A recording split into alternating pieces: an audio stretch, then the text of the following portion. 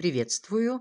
Народная артистка России Нина Ургант в последние годы своей жизни не работала и не выступала в театре из-за болезни. Однако актриса никогда не нуждалась в деньгах.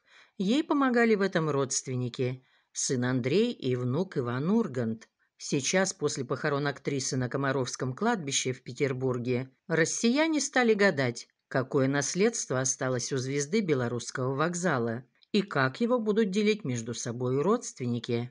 Нине Урган принадлежала четырехкомнатная квартира в центре Петербурга, а также у нее есть загородный дом в Грузино. В том, что между родственниками не возникнет ссоры из-за имущества, уверенные поклонники и друзья семьи. Среди имущества у Нины Ургант было две квартиры в центре Петербурга и загородный дом в поселке Грузино, где в соседях у нее живут Михаил Боярский и Иван Краско. Одна из квартир, в которой раньше жила актриса, находится в доме памятники на третьем этаже по проспекту Римского-Корсакова.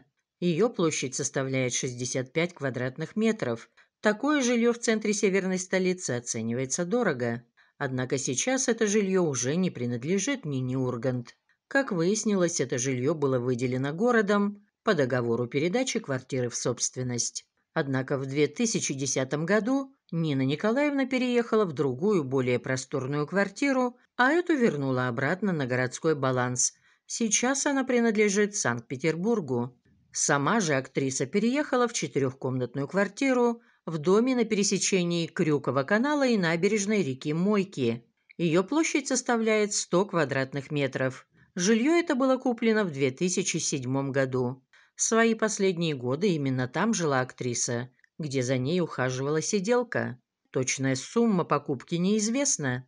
Однако сейчас в этом же доме риэлторы продают похожую квартиру площадью 146 квадратных метров за 114 миллионов рублей. Тем не менее, делить эту квартиру родственникам не придется. Эта недвижимость была куплена Иваном Ургантом для бабушки и сейчас до сих пор находится в его собственности. Что же касается загородного дома в поселке Грузино, то его получала сама Нина Ургант. Жилье в этом поселке выдавали артистам, среди которых и Михаил Боярский, и Иван Краско. По информации соседей, сейчас в доме часто появляются сестры Ивана Урганта по материнской линии. Однако бывает там и сын актрисы Андрей Ургант. Как говорят соседи, не думаем, что тут будет громкий раздел имущества и дом будет продан. Скорее всего, так и останется, как было. По мнению же юристов, дом этот должен достаться Андрею Урганту. Если нет завещания, то наследство в первую очередь переходит супругу, детям, родителям. Это наследники первой очереди, поэтому в данном случае ни супруга, ни родителей нет. И наследство, следовательно, должно перейти сыну. И только если бы его не было, то внуку. Однако, если завещание все же было, то все должно быть распределено согласно ему.